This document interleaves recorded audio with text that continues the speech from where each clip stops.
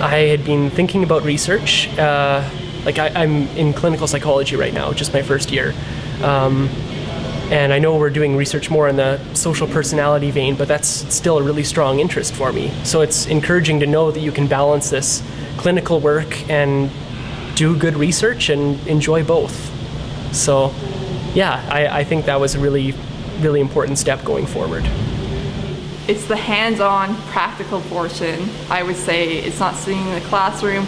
It's even more so than the lab because in the lab you get a list of things to do and you have to follow them with your undergrad research project. Although there's a lot of support for you, you're kind of given this certain independence where you get to plan and you have to come up with a solution to a problem and it's more you're on your own, which is nice.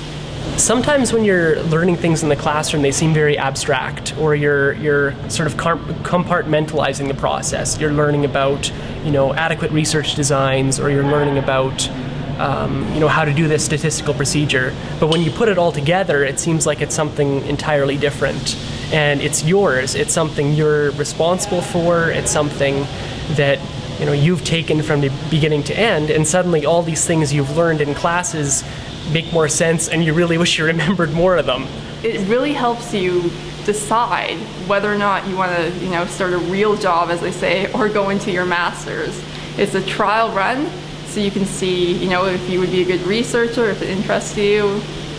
I couldn't think of a reason not to do it.